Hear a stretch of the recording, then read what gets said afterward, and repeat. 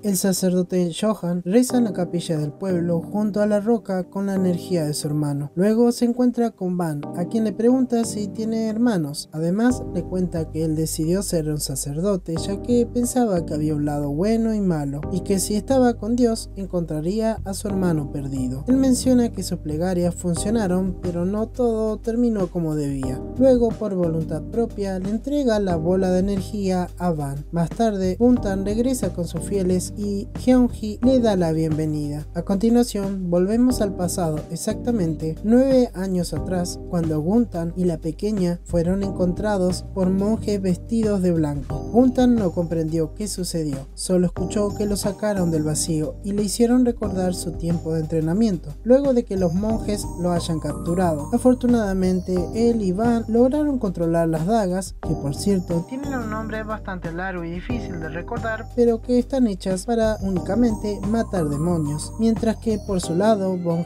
pudo demostrar tener el poder suficiente para crear la barrera mágica. Con el tiempo los chicos se conocieron y Bon comprendió que ellos estaban siendo explotados y sabiendo que no tendrían un futuro allí, decidió luego de varios días escapar junto a ellos, pero desgraciadamente no llegaron muy lejos y volvieron a ser encerrados. El tiempo pasó y los tres se convirtieron en adultos, mientras los muchachos se encargaban de matar demonios, a Bongeo se le encargó crear la barrera. Esto la hizo prometerle a los hermanos que los liberarían, algo de lo que desconfiaron, pero Van quiso creer. La noche de la activación de la barrera llegó y ante todo mal pronóstico y con los mitad humanos, mitad demonios a punto de morir, Bongeo esboza una parte de su poder, pero no puede concluir el ritual ya que Guntan engaña a Van y hace que él apuñale a Bongeo. Esto debilita el poder místico y engrandece el poder de Guntan. Pero tranquilos que después de muchas muertes, Bongeon provoca una gran explosión de poder que sella a Guntan y a los demonios que empezaban a salir del inframundo. Antes de partir, ella le menciona a Van que se volverán a encontrar en su nueva vida y le pide que sea él quien la reconozca primero. Por cierto, la señora que siempre ayudó a Van logra sellar algunas almas poseídas en las estatuas que están en la isla. Por unos minutos vemos como Guntan logró revivir en el tiempo actual. Esto se debió a un chamán que estaba clavando varias estacas en la piedra que varios años atrás fue el lugar para hacer el ritual. Este hombre golpeó una parte sensible de la roca y luego de una gran caída se encontró con Guntan, que ni bien lo sintió absorbió toda su energía. Luego él habló con los monjes en el templo Baek. Allí le recriminaron que debía compensar el tiempo que han perdido en él y Van. Resulta que estas personas son ni más ni menos que los mismos que esclavizaron a Guntan y su líder es mucho más viejo que el antiguo monarca de este templo. Es más, le confiesa que él siempre estuvo detrás de todo, pero nunca quiso mostrar su rostro. Por cierto, le cortaron el brazo a Guntan, pero se lo regresan con energía de demonios que el monje libera del fondo de la isla. Este monje remarca que todo lo que hizo y hace es para que la humanidad sobreviva, pero en realidad no le importa eliminar a las personas. Él quiere crear su propia humanidad, por eso necesita de Guntan, y aunque el mitad demonio no quiere cooperar con él, decide hacerlo cuando comprende que eliminando a todos los humanos podrá sanar todo el castigo que sufrió cuando era pequeño. Regresando al presente, mi hijo conversa con Van. Primero lo regaña por llegar tarde, después le pregunta cómo era Bongeon, ya que ella quiere recuperar el poder, pero a Van no le parece una buena idea. Por cierto, mi hijo trata de agarrar la daga de Van, pero no puede hacerlo ya que se quema la mano. Por su lado, el sacerdote continúa rezando en la capilla tratando de buscar la respuesta a sus problemas. Por medio de una charla con el señor Jan, recuerda la charla que tuvo con Van sobre sus temores y si realmente debe ayudar a mi hijo antes de que a él mismo. Mientras Johan le pregunta a su dios qué debe hacer y qué lado elegir, por su lado mi hijo entra a la tienda de su amiga, pero se lleva una gran sorpresa. Ella dejó la isla y se mudó con sus padres. Mi hijo recuerda los buenos momentos que vivió allí y mira su móvil. Su amiga no volverá, dice que está bien, pero ella sabe que no es verdad. Cansada de perder a personas, decide tomar una decisión. Por lo mismo, se encuentra con la señora quien minutos antes estaba tomando y balbuceándole cosas a su nieta. Al rato mi hijo conversa por varios minutos con esta señora. Ella quiere recuperar el poder para crear la barrera y aunque la señora le menciona que será difícil, ella quiere intentarlo. Antes de comenzar con su entrenamiento, la señora le muestra un poco de su pasado y bastante abrumada deja la casa pero promete volver. Esto preocupa a Van, pero es la única forma de que todo funcione. Por su lado, mi hijo se encuentra con las chicas y una de ellas le regala una bufanda. Como se esperaba, mi hijo se alegra y le agradece el regalo. Por la noche, la joven maestra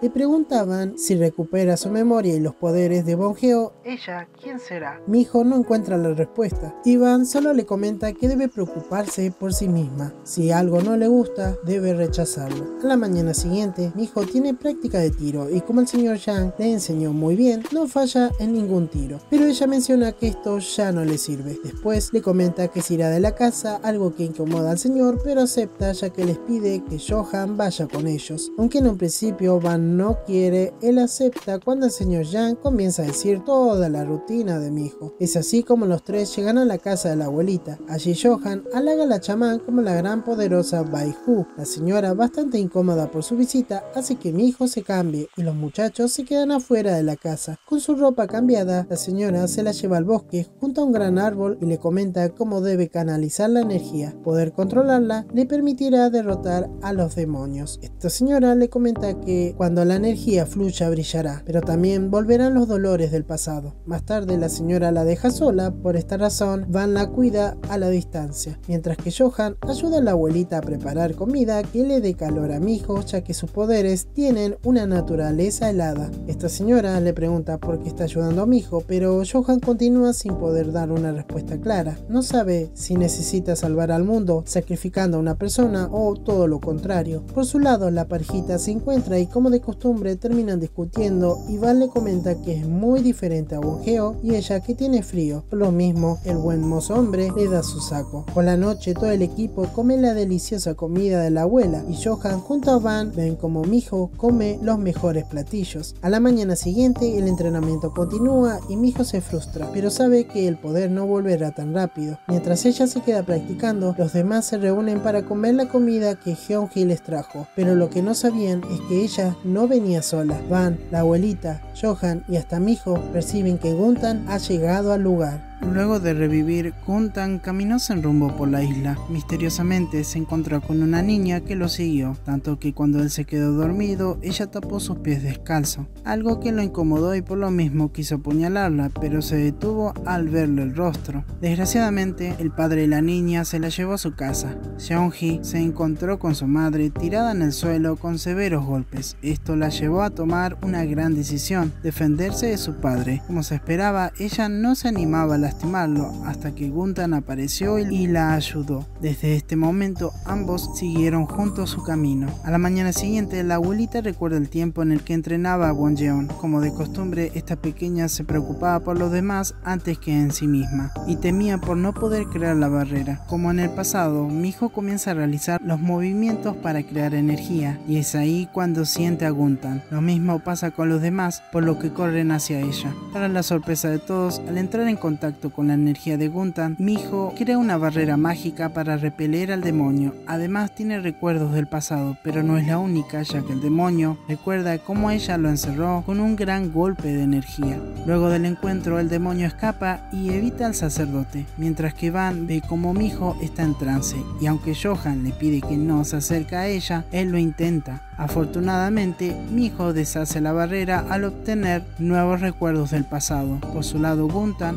se acerca a una estatua y libera al demonio que está dentro de ella. Por cierto, la abuelita se desmaya al sentir la energía del demonio liberado. Ella sabe que no puede esperar más y le pide a Van que no se confunda y evite darle su cariño. Mi hijo junto a los muchachos se van de la casa y Van evita hablar con ella, tanto que no la mira a los ojos. Por su lado, Johan mira la cara de la profecía y Guntan se encuentra con el demonio que despertó. Esto último, Van lo siente con su daga. Los problemas no dejan de cesar. Esta vez mi hijo sueña con Sorion, quien muere luego de ser poseída nuevamente. Cheon-hee también lo ve y comprende que es el plan de su tío, el cual le menciona que su amiga era especial. A la mañana siguiente, mientras Van continúa asesinando demonios, mi hijo regresa a la escuela, acompañada de Johan. Lo que menos esperaría es encontrarse con el cadáver de su alumna. Más tarde, la joven profesora habla con Van, sabe que es su culpa por no despertar el poder de Bongeon. Van quiere persuadirla y le pide que se vaya, pero mi hijo no quiere hacerlo, ya que no quiere dejarlo. Al otro día, el caos se desata, muchos jóvenes poseídos se amontonan en la escuela, y mientras Jeonji los evita, mi hijo se acerca a ellos. Por lo que entra en contacto con el demonio Gunsanse, el que te hace ver tus peores temores. Por cierto, Seonji imaginó ver a su amiga en la escuela. Al rato, Mijo alucina con Sorion, por lo que quiere salvarla de no caerse. Afortunadamente, el señor Jan y Johan logran que salga de la hipnosis. Por un brote de poseídos, hace que los dos, junto a Van, deban exorcizarlos. Los muchachos controlan la situación. Mientras tanto, Guntan le agradece a su sobrina por darle la ubicación exacta del demonio. La muchacha comienza a dudar de los planes de su tío, pero le sigue la corriente, ya que le menciona que si ella no le saca información a su abuela, él mismo lo hará. En el camino de vuelta a su casa, ella se encuentra con la señora que recuerda cuando Jeonji llegó a su casa. Era una niña muy trabajadora que siempre la ayudaba, además tenía una aura especial. A la mañana siguiente, Van percibe la energía de Guntan en su casa, por lo que tienen una pequeña conversación donde Guntan le pregunta por qué se queda allí y le comenta sobre lo que sintió cuando Bongeo lo encerró. Desafortunadamente, los hermanos comienzan a pelear, ya que Van quiere eliminarlo antes de que suceda algo peor. Al otro día, mientras mi hijo duerme, Van le pide a Johan que cuide de ella y continúa buscando al demonio. Por su lado, Guntan envía a una persona poseída hasta la casa de mi hijo. Más tarde, el demonio continúa apareciéndose y esta vez afecta a mi hijo y a un hombre que estaba en la gasolería. Para la suerte del hombre, Van aparece y lo libera del trance antes de que se incendie, pero mi hijo continúa pensando que el demonio es su amiga y camina detrás de él hasta que el señor Jan la detiene. Por cierto, Johan encuentra a la señora poseída y evita que ella se tire mar.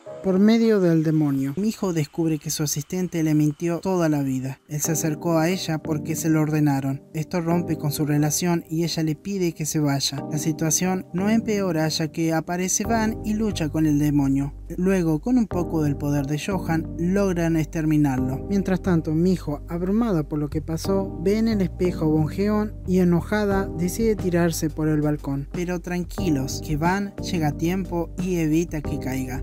No evita que ella recupere los recuerdos de la infancia y la noche del ritual en la que Van la asesinó por error. Por su lado, el señor Jan decide partir hacia la diócesis a buscar algo y le encarga a Johan que cuide de mi hijo. Luego de ver casi todos los recuerdos de Bongeon, mi hijo no puede evitar llorar por la difícil vida de Guntan y Van. A los segundos, Guntan aparece y se percata que mi hijo es un recipiente vacío de energía y los ataca. El demonio le da una buena paliza Van y luego le tira su daga a mi hijo, la cual no la toca ya que mi hijo activa sus poderes, lo que repele el demonio y por inercia termina tirándolos al mar. Al rato Johan aparece en la habitación y por medio de una de las larvas de Guntan logra ver lo que sucedió allí. Al otro día, mientras mi hijo conversa con Van sobre lo que harán después de exterminar a los demonios, Jeonji le da comida a una mujer y luego ve cómo su tío enloquece y le arranca el corazón a muchos de sus fieles. Por cierto, ella logra resguardar al bebé de la señora que le había dado comida minutos atrás. Luego de la matanza, Jeonji corre por el bosque hasta que se topa con un coche. Una mujer preocupada por la situación se baja y solo encuentra al bebé sobre la calle. Preocupada por su abuela, corre hasta la casa y le comenta lo que su tío hará. La señora, sin miedo a nada, comprende por qué ella se encuentra allí y no quiere evitar su destino, por lo que le pide que cuando se vaya, ella se convierta en una de las tantas abuelas protectoras de esta isla, ya que Tanra fue creada gracias a la abuelas fundadoras que se preocuparon por el bien del lugar. Al rato, trata de frenar a su tío, pero no lo puede evitar, aunque él promete no lastimarla. Mientras tanto, en la cueva sucede algo sorprendente. Mi hijo sueña con el ciervo blanco y repentinamente puede controlar sus poderes, algo que inquieta a Van, pero no le explica el porqué. Más tarde, la abuela y el tío de Jeonji se reúnen para hablar sobre los espíritus que Guntan quiere liberar. Esta situación se pone muy inquietante cuando Jeonji es usada como carnada, pero tranquilos que luego de una larga e intensa búsqueda, Johan llega para protegerlas, pero solo gana un poco de tiempo. Y desgraciadamente la abuelita cede a los pedidos de Guntan, por ende le enseña la zona exacta de las almas. Es así como el demonio libera a varias estatuas, pero lejos de convertirlas en demonio, les permite ir en paz, pero la abuelita no puede seguir con vida, por lo que es apuñalada por sus pecados del pasado. Jeonji no puede hacer nada, solo estar en los últimos minutos de la persona que la crió. Van y Mijo perciben que algo grave sucedió, por lo que el mitad demonio encierra a su amada y corre hacia Guntan. Allí se encuentra con Johan mal herido y a la abuelita con una herida mortal. Ella se preocupa por Mijo, pero Van le promete que está a salvo. Aunque la joven profesora rompe una barrera que Van había creado y tiene una charla con Won Jeon, mientras que Van conversa con la abuelita en el plano astral. Ambas mujeres le explican que Mijo y Van tienen una conexión especial, ya que Van se convirtió en humano gracias a Won Geo. Esto se debe a que una parte de la bola mágica que la muchacha tiene en su interior se introdujo en el cuerpo de Van cuando él la lastimó en la noche del ritual. Esto significa que Van debe perder su humanidad para poder salvar al mundo. La abuelita se despide de Van y mi hijo promete salvar al mundo sin la ayuda de su guardaespaldas. Más tarde, Guntan decide comenzar con su plan final, mientras que Van se despide de Jeonji, que le había pedido que le quite la vida. Por unos minutos vemos a Bongeo hablando con los muchachos. Ella les dio esperanza mencionándole un gran suceso relacionado con Buda, el cual remite a una persona que estaba maldita y para liberarse de su condena tenía que matar a mil personas, lo que nunca pensó que la última persona iba a ser su madre. Pero la deidad apareció delante de este hombre y se lo impidió. A partir de ese momento, él tuvo su redención y la oportunidad de reflexionar sobre sus pecados. Bongeo trata de explicarle que hay una oportunidad de que vuelvan a ser humanos. En el presente, el sacerdote Yan reúne grandes pistolas bendecidas y marcha hacia la gran batalla final, sin antes rezar por la vida de Johan. Misteriosamente, una luz alumbra la habitación del joven. Por su lado, mi hijo se topa con los demonios de Guntan en su camino hacia el acantilado del ritual. Afortunadamente recibe la ayuda de su mentor y es así como se encargan de varios demonios. Ellos demuestran tener muy buena puntería, pero no son rivales para Guntan. Por esto mismo, Van los encierra en una barrera y mi hijo le ordena a su guardaespaldas que le abra un camino para realizar el ritual. Con la ayuda de su mentor Iván, mi hijo continúa con su travesía, pero la cantidad de demonios es un gran problema, por lo que mi hijo queda acorralada y Van no puede protegerla por más tiempo, ya que su lado humano no le permite regenerarse. El panorama no parece nada bueno, pero un rayo de luz se aparece, y es ni más ni menos que Johan, quien revive cual ave fénix, liberando su máximo potencial. Con la ayuda de este joven obtienen un poco más de tiempo, pero mi hijo sigue sin controlar sus poderes, ya que no tiene la confianza suficiente, por lo que una alucinación de la abuelita aparece para darle el empujón que necesitaba. Mientras tanto, Van sabiendo que no puede derrotar a su hermano,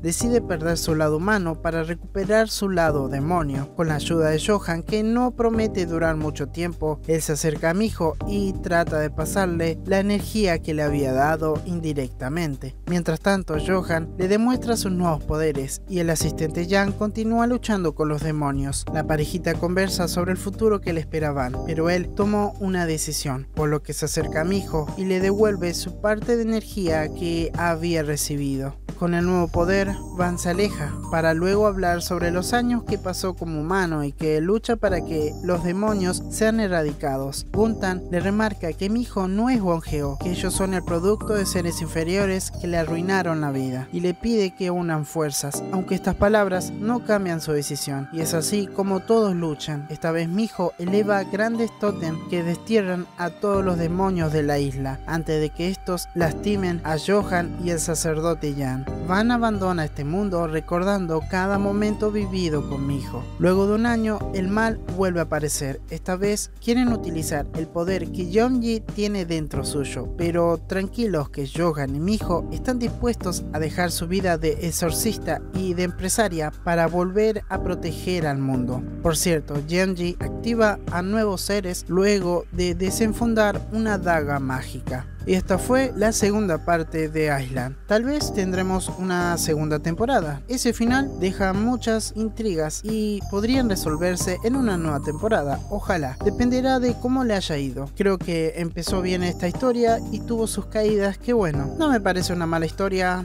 Los efectos están bastante bien y bueno, me dolió un poco que Van se haya muerto. Debería haber tenido su redención. En fin, si tengo que ponerlo en puntaje, le pongo un 7. Y a ustedes qué le pareció esta historia. No olviden suscribirse, dejar un like, visitar mis otros canales, mirar la pestaña comunidad del canal y nos vemos en un próximo resumen.